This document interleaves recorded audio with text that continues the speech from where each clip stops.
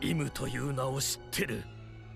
偶然とは思うが最初の20人に。詮索するな。答えやせぬ。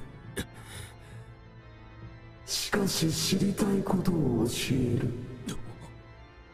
D とはかつて我々が敵対した者たちの名だ。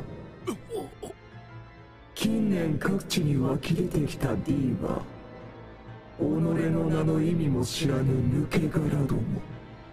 しかしそれも800年前のリリー女王の大失態に起因しているのだ。失態？空白の100年を嗅ぎ回る学者どももしかり。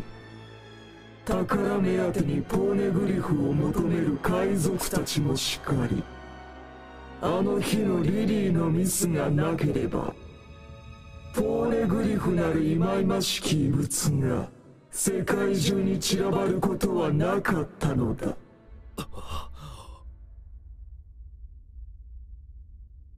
この起きてしまった過去に最悪のシナリオが一つある。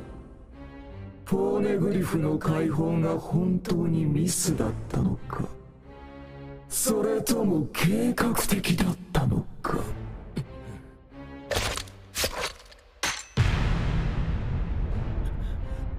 その答えがアラバスタに届いたリリーの手紙にあるはず。主やさっきからネフェルタリ家のリリー女王としか言わないのはなぜだ？女王の残した手紙の送り主の名を言え